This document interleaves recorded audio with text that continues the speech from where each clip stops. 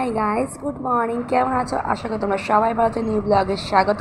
তো পার্ট ওয়ানের ভিডিওটা তো দেখতেই পেয়েছ, আমি কোথায় এসেছি? আমি এসেছিল রানাঘাটে, পিসির বাড়িতে। মানে পিসির বাড়িতে মেনে না, এসেছিল দিদি, শ্বশুর বাড়িতে। দিদি, শাশুড়ি, শ্রাদ্ধের গায়ে তো পিসির বাড়ির কাছাকাছি। তো ওদের আদি বাড়িটা কাছাকাছি, তার জন্য দিদি তো ফ্ল্যাটে নেই, তো দিদির বাড়িতেই মানে বাপের বাড়িতে। তো দেখো, আমি এখানে পিসির বাড়িতে দেখো চা সবার জন্য বসিয়ে দিয়েছি। চা অলরেডি ফুটছে। তো চলো গাইস কী করি না সমস্ত শেয়ার করি। এই দেখো গাইস এই পিসির বাড়িটা একটু ভেতরে রানাঘাটে, ঠিক আছে? দেখো চারিধার সবুজ আর সবুজ। এরকম গাছপালা আমাদের বাড়ির সামনেটাও নেই। এত সুন্দর পরিবেশ, না মনে হচ্ছে কি এখানে নিস্তব্ধ, কি সুন্দর পাখি ডাকতো ঠান্ডা গাইস কি বলব? আমাদের ওইখানেও এত ঠান্ডা না যে পিসি বাড়িটা এত ঠান্ডা। তো গাইস দেখতে পাচ্ছ, আমি, আমার ছেলে, আমার বোন, বোনের ছেলেকে নিয়ে আমরা একটু এবার পার্কে মানে এরা এত বায়না করছে যে ঘরে মোটেই থাকতে চাইছে না। এদের বায়নার জন্য তো আমার দিদির ছেলে মানে আমার ছোটো ভাগ্নের সাথে, না, তো বুনপো হবে সরি বুনপো। আমার বুনপোকে নিয়ে আমরা যাচ্ছি ঘুরতে, ঠিক আছে?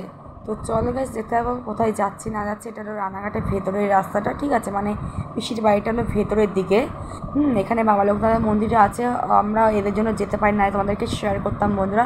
তো এদের ভেতর রাস্তাতে যাচ্ছি আমরা একটা পার্কে ঠিক আছে? দিদির শ্বশুর বাড়িটা একটু হেঁটে গিয়ে দেখতেই পাচ্ছ, আমরা হাঁটছি আমার ছেলেকে। তো এই যে এটা দিদির শ্বশুর বাড়িতে চলে এসেছে, এদিকে একটা ব্যাংক দেখতে পারবে এসবিআই ব্যাংক এই যে আমার হলো বুনপো আমার ভিডিওটা করে দিচ্ছে। তো আমি তো দেখতেই পাচ্ছি আমার ছেলেকে নিয়ে হচ্ছে এই দিকে ওদের বাড়ি। তো আমরা এই দিকটা ধরেই যাব। ঠিক আছে গাইস তো চলো এদিকে একটা কল দেখতে পাচ্ছ। আর এই দেখো পার্কে আমরা চলে এসেছি অলরেডি এটা হরিনগর সেই কোন জায়গা? রানাঘাটের। ঠিক আছে, তো এটা পার্ক ওদের বাড়ির পাশে। হরিনগর সেই কি একটা জায়গা? আমি ফার্স্ট এই পার্কটাতে আসলাম। বিয়ে সাত বছর পর পিসির বাড়িতে আসলাম রানাঘাটের এই দিকটাতে। তো রানাঘাটে তো নেমেই আমাদের বাপের বাড়ি যেতে হয় টিন চেঞ্জ করে কৃষ্ণনগর, সেটা তোমরা জানো। তো খুব আনন্দ করছিলাম আমার ছেলে, তার সাথে আমিও আনন্দ দেখতেই পাচ্ছ, দোল দিচ্ছি ওকে। তো বোনের ছেলেও দোলনায় দোল খাচ্ছিল তো ওই দিকে দেখো অনেক কিছু আঁকা আছে ছোটা ভীম তারপর মোটু পাতলু। বাচ্চাদের পার্কটা খুব সুন্দর বাট একটাই দোলনা ছিল আর একটা ঝোলানো হয়তো খারাপ আছে তা যা স্লিপে ছেলেকে স্লিপারে উঠায়নি। উম, যদি ভয় পায় দেখো মোটু পাতলু আঁকা আছে আর এদিকে ছেলেকে তো দোল দিচ্ছে আর ওদিকে বোনের সাথে আমি কথা বলছি আর দেখো এটা হলো নেতাজি সুভাষচন্দ্রের মূর্তি আর তার পাশে এখানে পতাকা উত্তোলন করা হয় ঠিক আছে? এটা হরিনগর। ঠিক আছে তো হরিনগর এটা, তো এই দেখো এটা স্লিপ, বাচ্চাদের তো, আমার বোনের ছেলে তো, এখানে স্লিপ খাওয়া গেছে, তো সেটা তোমাদেরকে দেখাতে পারিনি বন্ধুরা। তো আমার ছেলে এখন দেখো ধিক করে উঠেছে মানে ওটাতে উঠবেই তো, আমার বোন মানে ওই দিক দিয়ে করছে, আর আমি ওকে বলছি মাসি, তুমি ওকে ধরে রাখো। আমি ঠিক আছে। তো খুব খুব আনন্দ করলাম। বন্ধুরা, কি বলব? আর সবাই একসাথে হওয়ার একটা মজাই আলাদা।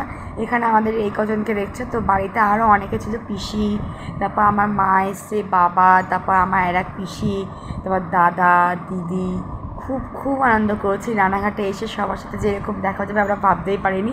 একসাথে হওয়ার তো খুবই আনন্দ। তো এই দেখো রবীন্দ্র মূর্তি একটা দেখতে পাচ্ছ। তো গাইস এখন আমরা পার্ক থেকে বেরিয়ে যাচ্ছি। ওই দেখো, আমার ছেলে কোলে। তো গাইস দেখো পিসির বাড়িতে এই সিংহাসনটা কিন্তু আমার পিসমশাই তৈরি করে, নিজের হাতে তৈরি করছে বাট এখন হলো পিসমশাই অসুস্থ, তার জন্য এখন কিছু তৈরি করতে হবে ফার্নিচার যাবতীয় সমস্ত তৈরি পিসমশাই। ভিডিওটা ভালো লাগলে অবশ্যই লাইক কমেন্ট